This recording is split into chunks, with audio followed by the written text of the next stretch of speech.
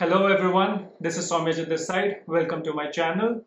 Today we will be discussing about the low-level design of library management system. Without further ado, let's get started.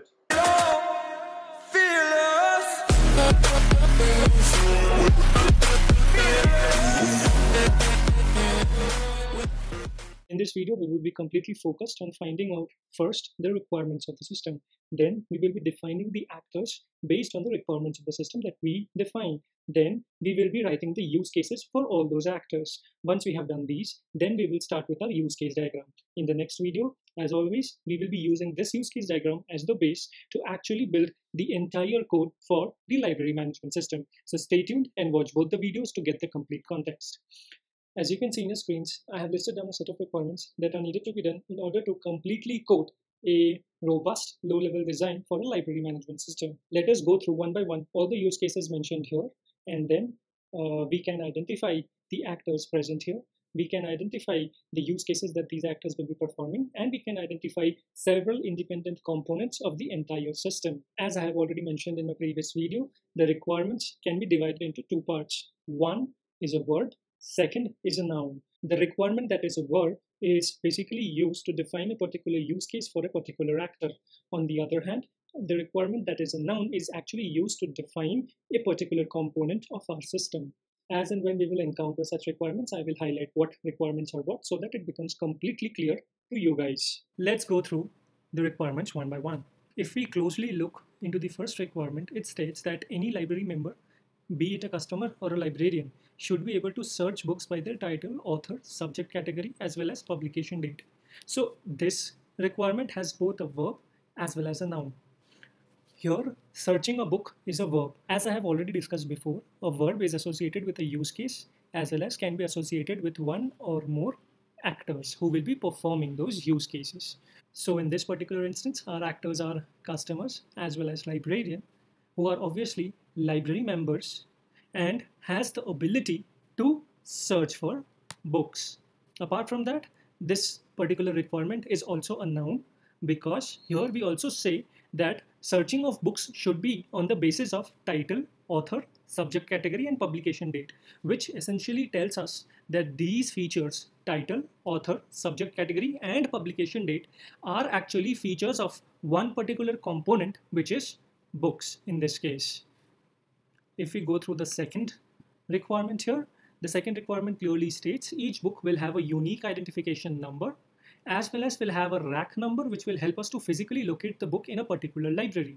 So here as well, this particular requirement is a noun. It What it states is basically a book which is a component of the system will actually consist of a unique identification number as well as a rack number.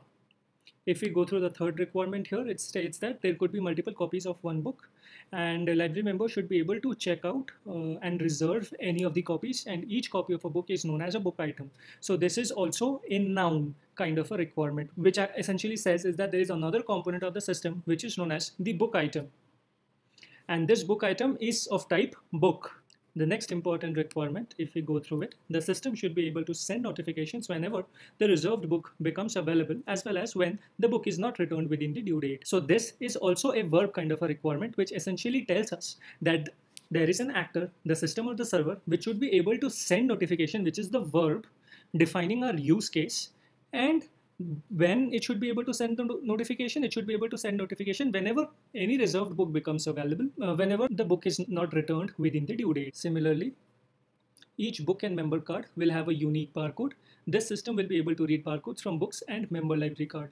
So here as well this is a noun kind of a requirement which essentially tells us that there are two components of our system which is the book as well as the member card which will have unique barcodes which the system will be able to read. Likewise, if you go through all the requirements that I have listed down here, each and every requirement can be primarily classified into two types. Let us go ahead and identify the actors of the system. As we can see from all the requirements that are listed in your screen, there are primarily three actors and we can clearly see them performing certain actions that is verbs in all the requirements that we have listed down. First actor will obviously be the librarian the second actor will be the customer and the third actor will be the system itself, that is the server. And if we come to the use cases that we have defined for our system, They are as follows. The library management system should allow the addition, removal and editing of the book.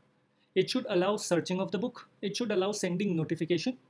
It should allow issuing of a book. It should allow reserving a book. Similarly, the system should allow renewal of an already issued book and returning of a book that has been issued. So we will be focusing our use case diagram on the use cases that we have identified here. Let us quickly go ahead and draw our use case diagram. As usual, we start the use case diagram by building the system boundary, which is this big rectangular block that you can see in the screen. Then we define all the actors present in this particular system, that is customer, librarian, as well as the server. Once we have the actors and the system boundaries in place, we will start one by one placing all the use cases that we have defined here and connecting different actors with those use cases. What this particular use case diagram will enable us to do, it will enable us to come up with a more robust and efficient class diagram that we will see in a bit. Let us start by defining the use cases. Here we define the following use cases, add book, edit book and delete book. Obviously, addition of book, editing of a book and deletion of a book should all be part of a librarian because these are the functions that the librarian will perform which essentially says that the librarian class should contain all these three use cases as its methods in it.